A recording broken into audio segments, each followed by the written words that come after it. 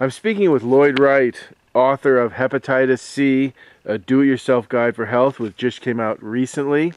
Lipotrope, help for fatty acid. The, the liver removes fatty acids from food or accumulated fat deposits by degrading and oxidizing them when the body must call on fat as a major energy source. And how does a lipotropic work on that?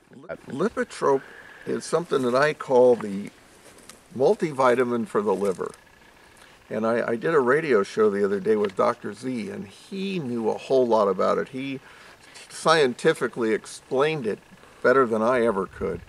And if you want to go on, on my websites, you'll see where it says Lloyd on the radio. You click there and you can go listen to what Dr. Z had to say about it.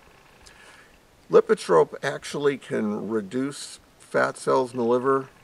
A lot of people have fatty liver in the United States. And this item actually helps. And it has a whole lot of things in it that your liver needs. And if you've got a sick liver, you need them even more. Now this, there's a drawback to Lipotrope, and that is that it has an, un, you know, it has a scent to it that most people don't like.